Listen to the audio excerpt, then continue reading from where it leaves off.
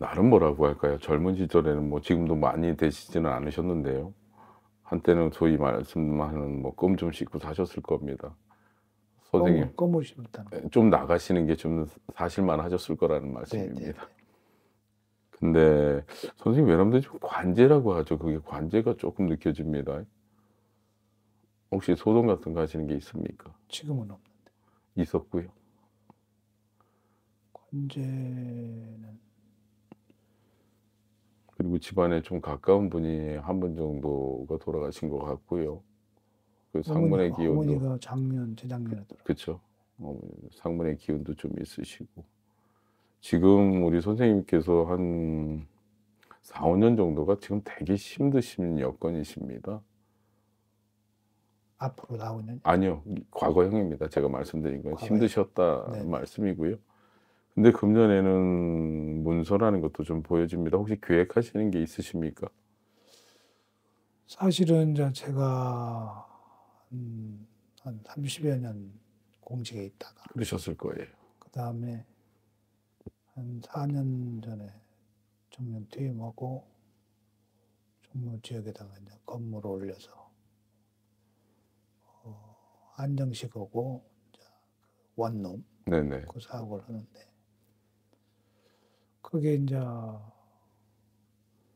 하면서 애들 둘을 갖다가 아내하고 네. 같이 그 사업을 하도록 저는 이제 그 꿈이 그거 걔들 그게 안 차게 되면은 저는 시골 나라 가서 혼자 좀 살고 싶어요. 선, 선생님 생신이 몇 월 달이십니까? 어, 음력 12월 1일. 12월 초하루요. 네. 숫달 초하루. 그러니까요. 우리 선생님 자체가 물론 선생님 스스로가 쌓으신 재력도 있지만 내려받는 재력도 있으시거든요. 제복을 갖고 계세요. 그러니까 어떻게 보면은 이제 자손들이랑 이제 다들 이렇게 해놓으시고 이제 어떻게 보면 노후를 이제 시골 가서 이렇게 하시려고 하시는데 하실 수 있잖아요. 네? 하실 수 있잖아요. 지금 마- 방금 말씀드린 대로 문서가 두 개가 들었다고 제가 말씀드렸는데 그러니까 뭐 시골 가서 사시는 분도 뭐 돈이고 뭐 땅이건 뭐건 뭐 사- 매입을 하시건 뭐 하시건 하셔야 되잖아요. 시골에서 이제 가실 때, 갈 때, 물론 지금 현재도 땅이 있습니다만은 그 선산이 할아버지부터 해가지고 그 선산 관리를 제가 하는데 네. 산 높이 있어가지고 그걸 음. 제가 아래쪽으로 내려가 접근성이 가- 좋게끔 네, 네, 네. 아래쪽으로 내려가지고 이제 거기에 집 짓고 제가 혼자 살려고 그러는데 그런다고 보면은 문서가 들어왔겠죠. 그 땅을 살려고 그러니까 마음 그렇죠. 먹고 있으니까. 그렇죠. 하셔도 됩니다. 근데 근데 산소는 선생님이 장손 같은 장남이시면은 지금은 아니시고요. 그 그리고 또 장남이 아니죠. 장남 아니실 때도 선생님이 돼지띠시잖아요. 예, 예, 예. 권해드리고 싶지는 않습니다. 그냥 급하지 않으시니까 그렇죠. 급하지는 않아요. 음, 내- 한 4년 후에 또 윤달이 들어오니까요. 윤회가 들어오니까 네, 네. 그때 하십시오. 오케이. 4년에. 네. 지금은 일단 그쪽에 뭐 하셔가지고 매입하셔서 음. 조그맣게라도 지으셔야 되잖아요. 그렇죠. 네, 그거는 하셔도 탈은 없으실 겁니다. 음. 그러고 이제 제가 걱정되는 게 지금 아들 둘하고 집사람하고를 이제 아주머니는 연세가 어떻게 되십니까? 용띠 64년대. 갑진년이네요. 예. 그러니까 골치, 아프, 골치 아프게 들으죠. 네, 평생 평생 아마 평생 아웅다웅 하시고 그리고 또 아주머님이 굉장히 강하십니다. 예. 성격도 그러시고 모든 게 또 그리고 음, 여자의 몸이시지만 여장부실 겁니다. 대리 우리 선생님이 음, 여성스러운 면이 더 많으시고요. 아들들이 몇 살 몇 살입니까? 하나는 장남이 92년생이고 둘째가 94년생이니까. 92년, 94년이요. 예. 92년은 원숭이 뛰고 네네. 개 뛰고 그러네요. 참 묘하죠. 나름대로 옳고 바르게 열심히 살아오시고 어, 그리고 또 공직에도 계셨고 근데 왜 애들이 지금 뭐야 따 아닌 따가 돼 계시고 그럴까요? 아버님께서 정을 많이 안 주셨는 모양입니다. 아니 애들은 저는 뭐 그리고 또 큰애 같은 경우에는 큰애도 그러면 어, 그 아주머님이랑 같이 음식점 그런 거를 맡겨 놓으신 네. 겁니까? 큰애는 제가 한정식이니까 주방 일을 좀 맡겨보려고. 근데 큰애 같은 경우에 원숭이티 같으면요 우리 선생님 같이 어, 공무원 쪽에가 많거든요 원래는 그쪽이 맞는데 아마 공부를 별로 안, 안 공부를 했어서 안 했어. 그랬을 겁니다 그리고 둘째가 대래 어떻게 보면은 사업적으로 장사 쪽으로는 둘째가 더 기질이 있습니다 근데 둘째 녀석 같은 경우에는 또 저기 뭐야 엄마하고 은근히 아. 부딪힘이 많을 겁니다 아. 그 애도 그러면 거기서 뭘 시키시게요 그래서 둘은 공부에 소질이 없어 보여서 머리들은 좋은데 공부를 안 한 겁니다 대학 가지 마라. 네 대학 안 가도 되니까. 그랬더니 놔뒀더니 별로 안착을 잘 못해요. 그래서 큰애는 이 식당을 한정식을 하는데 주방이 중요하니까 또 걔가 내가 보기에 음식 하는 거에 좀 소질이 그쪽으로 원래는 공직인데 그쪽으로도 잘 맞을 겁니다. 네. 그래서 주방장 밑에서 해가지고 그 주방 일을 좀 책임질 수 있도록 앞으로 둘째는 너는 이제 그 관리하는 거 서비스 이런 업무를 해가지고 둘이 이렇게 좀 어쨌든 간에 나는 그러고 싶지 않았는데 두 놈들이 이제 거기에서 이제 같이 일을 하면서 좀 안착을 해주기를 지금 그건 여러 아버님 아버님 바람이시고요. 형제간이 일단 안 맞습니다. 둘이 예, 네. 둘이는 좀 안 맞아. 안 맞는 게 아니라 많이 안 맞습니다. 그래가지고 음. 그러니까 어떻게 보면 큰애랑 둘째는 어떻게 보면 음, 두분 아버님 선생님의 아들이겠지만 물과 기름과 같은 존재들이거든요. 극과 음. 극이거든요. 예, 예.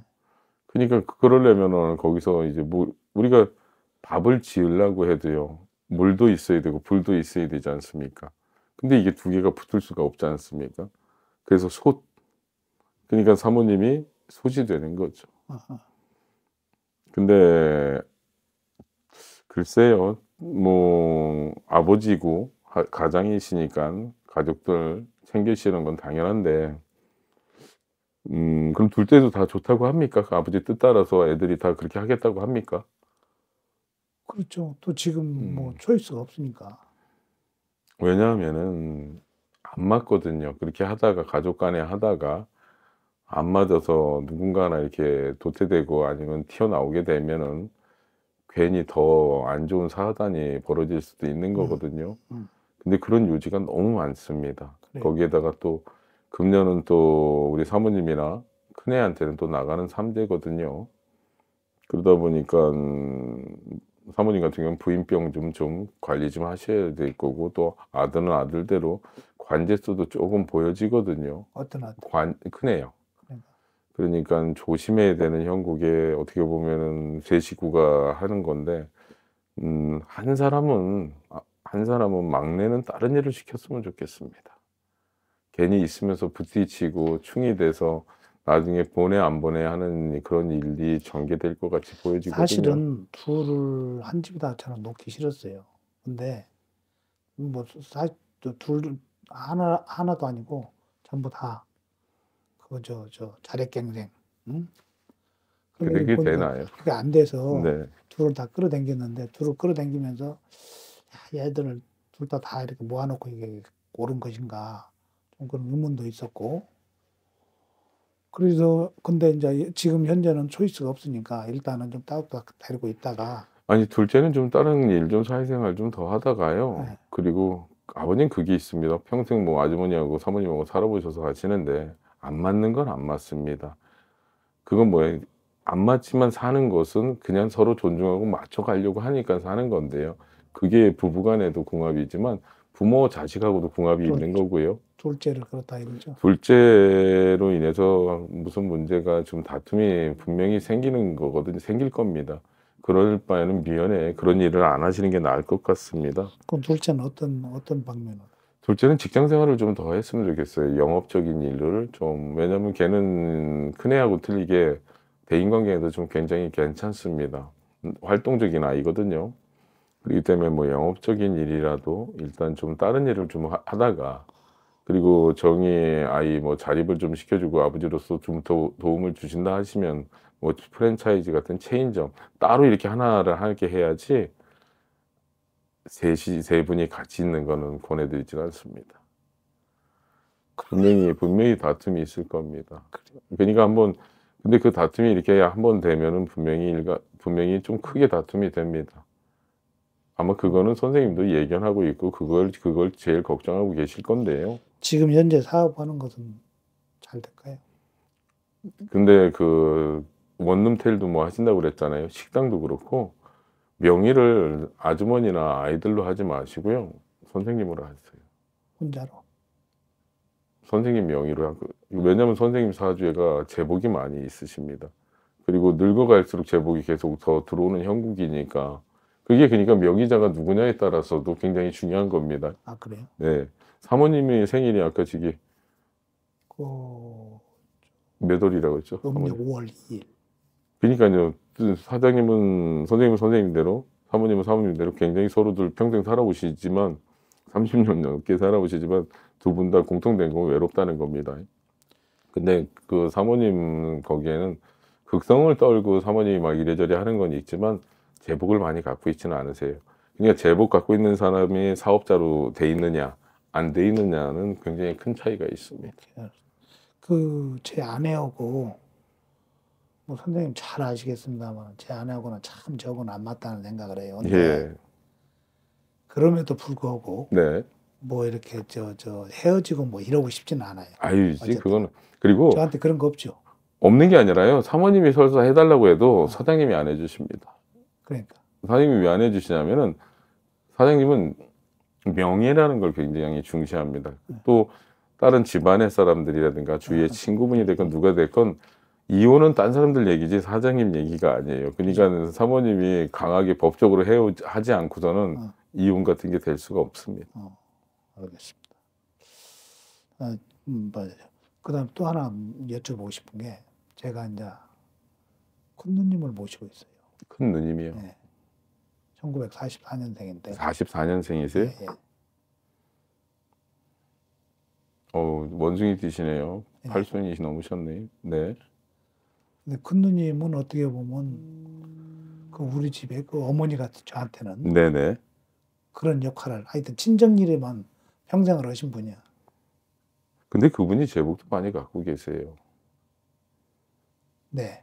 그분은 어떻게 보면 이런 말씀 드릴까요? 그분은 음, 보살님 같이 저와 같은 분이세요. 네. 저와 같은 이끼 같이 무당의 기운 그런 것도 많아서 음. 집안에 우환 같은 게 무슨 일이 생길 것 같으시면 미리 꿈도 다 꾸시고 그럴 겁니다. 그리고 또 그분이 거의 그분이 무당이세요. 아마 웬만한 행사 같은 것도 아마 그 당시에서 하시려고 하실 거고 잘 모셨 그분 그러니까 누님을 이렇게 모시고 있는 게 잘하신 겁니다. 그 제가 어머니가 재작년에 돌아가셨는데 97세로 네, 같이 이제 그 제가 건물 올리고 5층에 집을 해가지고 5층에서는 전체 가족들 다 이렇게 살거든요. 네, 누님은 이제 누님 혼자.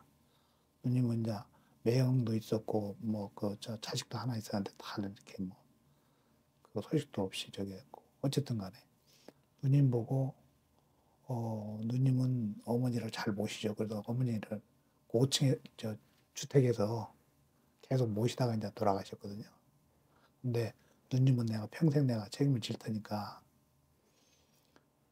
그래서 하면은 이제 누님 뭐 아무런 문제 없이 잘 이렇게 생활을 하고 있어요. 제가 시골을 가버리면은 이 누님이 얼마나 오래 사실지. 음, 근데요, 그 누님은요, 팔순이신데도 팔순같이 안 보여집니다. 맞아요. 그거는 당신께서 관리를 잘 하신 거고요. 그리고, 그리고 우리 선생님도 그 로망을 시골에 갖고, 갖고 계시는 거지, 선생님도 거기 노다지 계속 있지는 못합니다. 그 얘기는 뭐냐면 선생님도 수시로 서울 올라가 볼 거고요. 또 그렇죠. 걱정이 돼서 네. 아이들하고 아주머니한테 맡겨놓은 거. 수시로도 보러 오셔야 되는데 네. 괜찮으십니다. 그리고 그리고 누님을 좀 잘 섬기셔야 되는 게 네. 음, 누님 잘 섬기시면 좋은 일 많이 하실 겁니다. 아, 그리고 뭐 하여튼 그건 뭐 그리고 또뭐 누님이 어떻게 보면 누님의 개인적인 삶이 조금 좋은 편은 아니잖아요. 뭐 남편과의 뭐. 뭐 매형이시잖아요. 매형 관계 또 조카 관계 저와 같은 분이어야 되거든요. 음. 저처럼 결혼 안 하고 음, 음, 혼자 이렇게 살면서 신을 섬기든 조상을 섬기든 하셔야 되는 분이거든요. 음, 좀 그런 쪽으로는 굉장히 박복하게 사셨을 겁니다. 음. 많이 우셔, 우시고 사셨을 텐데 음. 걱정 안 하셔도 됩니다. 명도 기셔요. 음. 그 음. 집안 내력이 선생님 집안 내력이 명이 기신가 봐요. 특히 남자들보다는 여자들이 훨씬 더 깁니다. 네, 네. 괜찮아집니다. 걱정하지 마세요. 그러면은 가장 제가 걱정되는 거는 음. 그렇게 아들 둘하고 사모님하고 하시는 그 자체가 큰 아들하고 그리고 음 이게 편이라는 걸 안 해도요 아주머니 눈에는 큰 아들은 항상 짠하고 아픈 손가락입니다. 네. 아주머니 눈에는 큰 아들이 네. 둘째는 그렇지 않습니다. 그러니까 보- 말 한마디도 어떻게 보면 큰애한테는 누구한테도 지는 분이 아니거든요 사모님이. 음. 근데 큰아들한테는 질 수밖에 없어요. 음. 근데 둘째 아들하고는 이게 안 많고요. 안 맞으니까. 음. 그러다 보면은 둘째 녀석 입장에서 보면은 형은 저렇게 맨날 챙기면서 나는 왜 이렇게 안 챙길까? 음. 이런 게 아마 지금까지도 둘째한테는 있을 겁니다. 음. 근데 형이 입장에서는 난 뭘 그렇게 받았냐 이놈아 할 수도 있단 말입니다. 근데 그런 것부터 대두되기 때문에 음. 음. 글쎄 뭐 시작을 하셨다면은 어쩔 수 없겠지만 음. 둘째는 그런 쪽으로 아까 말씀드린 대로 사회생활 좀 더 시키시고 나중에 사회생활이 안 돼. 그러니까요 이게 가- 영업적이라고 제가 이렇게 말씀드린 건 뭐냐면요 그 아이 생일이 언제인지는 모르겠는데 굉장히 활동적인 애가 어딘가 갇혀서 있는 일을 못 합니다. 8월 29일. 그러니까 돌아다녀야죠. 그러니까 돌아다니려면 뭐가 있겠어요? 영업적인 거 아니면 운전적인 거 뭐 이런 식으로.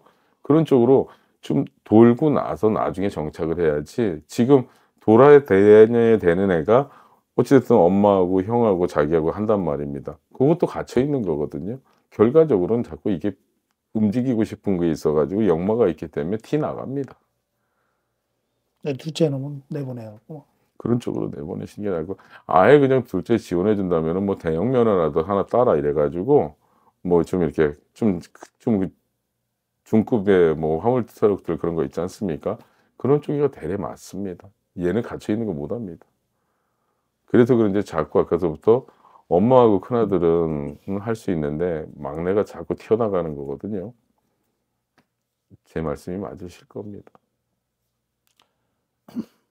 하여튼 신경이 많이 써요. 한번 일단 한번 도전 한번 해보시고요. 한번 시작하셨으니까 한번 해보시는데 아무튼 문서가 들었기 때문에 계속 그렇게 하시면 되는 거고요. 그리고 또 사업자도 다 내시고 진행하셨으면 제일 좋은 거는 누구 이름으로 돼 있느냐가 중요한 겁니다. 집도 그렇고 아니 집이고 뭐 하여튼 모든 저기를 공동으로 해놔있어요. 잘하셨습니다. 부- 저, 저, 제 부부 공동으로. 근데 지금 근데 이제 식당 같은 걸 하게 되면은 그건 식당이나 원룸 그런 거는 전부 다 제 명의로 돌리라고요. 그게 식당 같은 경우는 특히 나요. 아. 그래야지 장사가 잘 됩니다. 그래요. 왜? 선생님이 제복을 갖고 있기 때문에 제복 갖고 있으면 아무래도 장사가 잘 되게 돼 있습니다. 선생님이 지금 어떻게 보면 다 그렇게 하시고 시골에 어떻게 보면 나를 위한 삶을 이제 나머지 삶을 살기 위해서 선택하신 거잖아요. 그쪽으로 선택을 정말 잘하셨는데 가서 너무 힘들게 사시려고 하지 마시고요. 그리고 외람되지만요.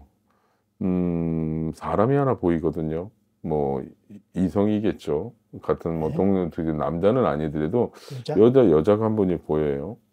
한번 좀 친구처럼 버처럼 만나고 사시는 것도 괜찮을 것 같습니다. 시골에서요? 금년에 아마 좋은 인연이 하나 들어올 것 같습니다. 근데 그거는 제가 되는. 그게 아니라요. 그게 꼭 불륜 그런 게 아니라요. 좋은 법도 있고 친구도 있고 그렇게 해야 만나시고 사시는 거죠. 젊었을 때 여자들한테 못된 짓을 많이 해가지고 자 그런 거 하고 싶잖아요. 근데요, 그게 없어지지 않습니다. 그래요? 네. 다른 사람들 눈에 선생님이 멋있게 보일 겁니다. 그리고 지금 멋있거든, 뭐 멋있으세요. 그리고 관리 잘하시고. 아무튼 가장 큰 거는요, 이제 세월 앞에 장사가 없지 않습니까? 건강만 좀 잘 챙기시면 될 것 같습니다. 시골은 언제쯤 내려? 글쎄요, 선생님이 그래도 연세가 있으시고 지금 땅이 꽝꽝 얼어 있잖아요. 그래도 여름 한철 내주고 선선한 바람 돌 때 가시라고 보내고 싶네요. 지금 당장은 움직이기가 그러시고요. 몇 년 후에 아니요, 몇 년이 아니라 금년 가을부터 한번 준비하시라는 말씀입니다. 그래요? 네. 문서가 지금부터 들었으니까요. 금년에 하셔도 되고 내년에 하셔도 됩니다. 알겠습니다.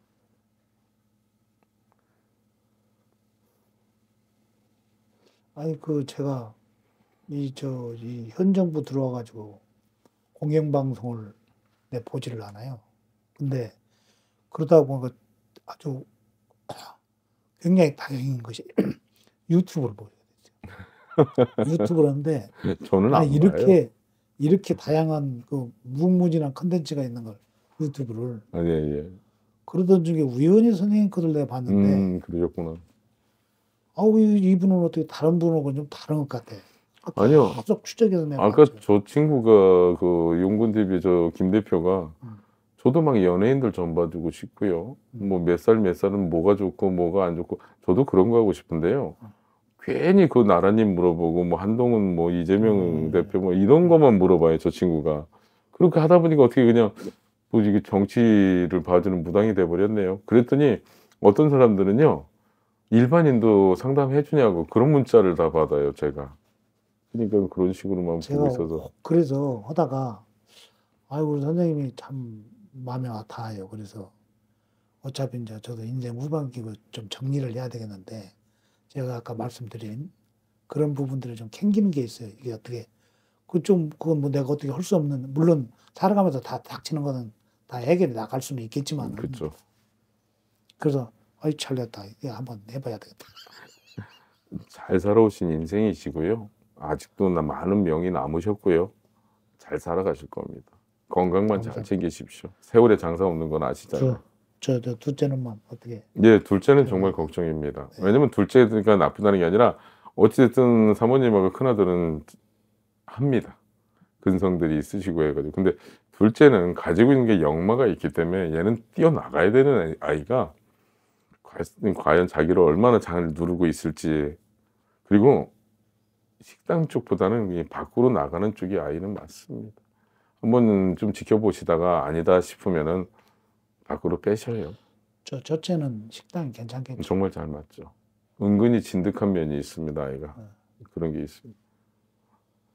알겠습니다. 많은 아무튼. 도움이 됐습니다. 아무튼 건강 챙기시고요. 복 많이 받으십시오. 필요할 때 한 번씩 더 와야 되는데. 전화 주세요. 한번 다녀가셨으니까. 아무튼 복 많이 받으세요. 아이고 새해 복 많이 받으십시오.